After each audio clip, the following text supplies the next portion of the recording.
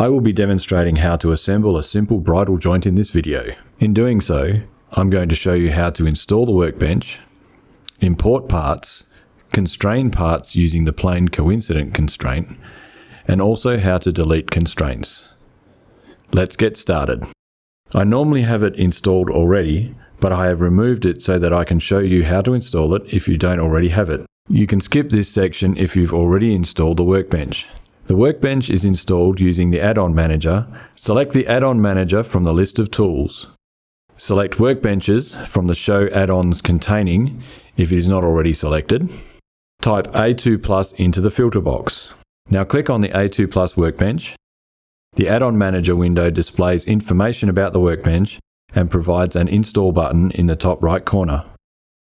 Click the install button to install the workbench. You'll need to restart FreeCAD in order to use the workbench, so I will do that now after closing the add-on manager. If you'd like to support my work, please consider buying me a cup of coffee.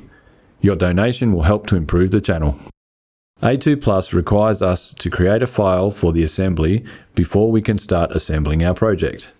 Create a new file by clicking on the New File icon. Now save the file using the Save icon Give the file a name and click Save.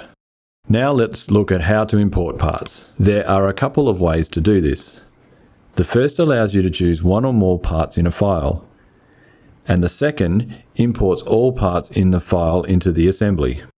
I'll start by showing how to select the parts that I want to import. I'll import the parts that I prepared earlier for this demonstration.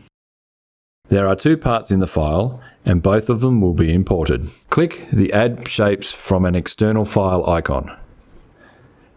Then select the file containing the parts. Click the Open button to import the parts. Each part is imported into the assembly and can be transformed at will. You use this method when you want to be able to constrain the parts individually. You can also use this method if there is only one part in the file. The last part in this example can be moved simply by moving the mouse and it is fixed in place with a mouse click. This is the method I use for importing parts. Now we'll look at importing the parts in a single file without having the ability to choose which ones we want. Click on the Add Part from an external file icon. Select the file containing the parts. Click the Open button to import the parts. The parts are imported as a single object and cannot be individually transformed. This is useful for importing an existing assembly for use within another assembly. For example, you could have a standard drawer design that you want to reuse in a chest of drawers, and you could use this method to import the drawer assembly. The model that I imported is actually an assembly that I created with the A2 Plus workbench for this purpose. I used the steps that I'm about to demonstrate to create this assembly. The A2 Plus Workbench documentation describes the imported assembly as a subassembly. As you can see, the parts in the subassembly move as one. Before we go any further, let's have a brief look at degrees of freedom. Degrees of freedom are the number of parameters of the system that may vary independently. The Sketcher Workbench documentation describes a line as having four degrees of freedom.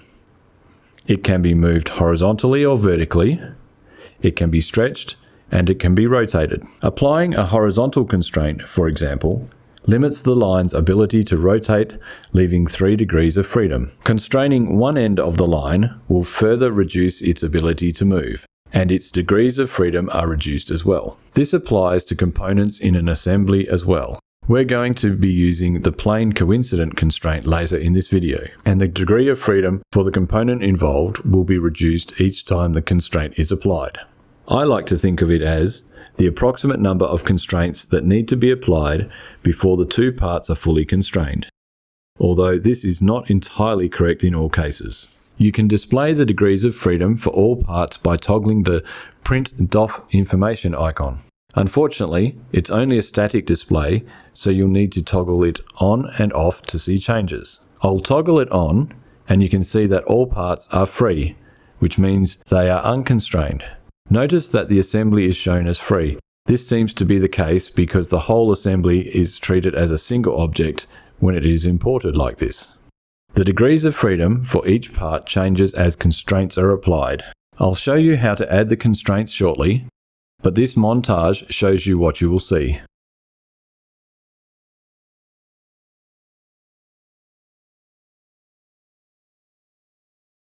You'll note that one of the parts is shown as being fixed. As soon as you place your first constraint on the parts, one part becomes fixed and the degrees of freedom apply to the other parts.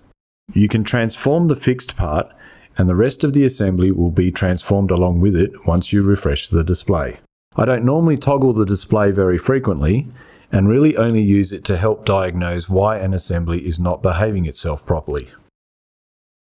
I'm going to leave it toggled on for now. We can now start to constrain the parts. I'm going to start constraining the two individual parts and then constrain the subassembly. I found that you can't constrain a part to a subassembly until one of the individual parts is fixed. I'll start by constraining part B to the left hand end of part A. Select the top face of the tenon on part A and select the top face of the mortise on part B while holding down the control key. Now apply a plane coincident constraint. I will go into the plane coincident constraint in more detail in a future video.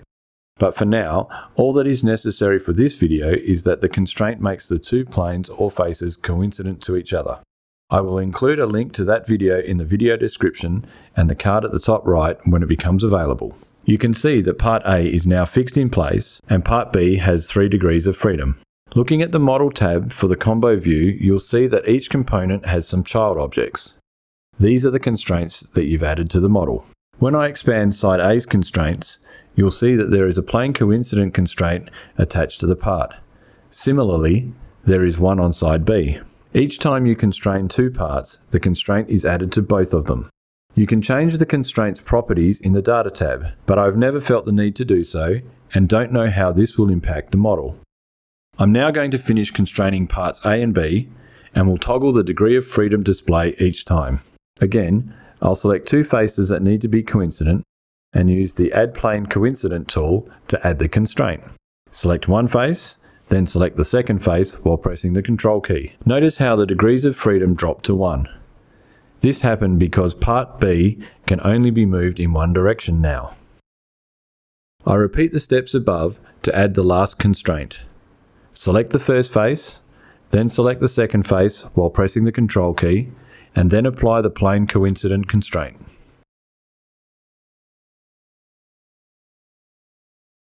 Part B now has zero degrees of freedom, so it is fully constrained. Now I can move on to constraining the imported subassembly to the one that I'm creating. The process is exactly the same as constraining the individual components. You can see that the A2 Plus workbench does not distinguish between individual parts and a subassembly. But bear in mind that it only does this once two individual parts have been constrained. You don't have to fully constrain your assembly, but I find it best to do so. I have come across situations where I used an incorrect constraint and the next constraint caused an unexpected result. In my case, it was one of the circular constraints, which we'll look at in a future video. Most of the furniture and jigs that I've built use fairly simple joinery, so a fully constrained assembly might be a bit of overkill. But I choose to do it so that I don't forget to do it on furniture where I may need to use more complex joinery. Now let's look at how to delete constraints and the effect on the assembly when we do so. As you know, a child constraint is added to each part every time you apply a constraint. Deleting a constraint works in reverse. A child constraint is removed from each part, and the degree of freedom increases as well because there are fewer constraints applied to the part. Select the constraint that you want to delete, then press the Delete key, or right-click on the constraint and select the Delete option to delete it. You only need to delete the constraint on one part and FreeCAD automatically deletes the constraint from the other part. You can delete all constraints on a part by selecting them all and then deleting them. This is a way of fixing a model if you've messed up the constraints. Check out the video in the top right corner if you'd like to learn more about the A2 Plus Workbench. I have also created a playlist containing videos about the A2 Plus Workbench. I will be creating more videos which will be added to the playlist. If you'd like to support my work, please consider buying me a cup of coffee. Your donation will help to improve the channel. Thanks for watching. See you next time.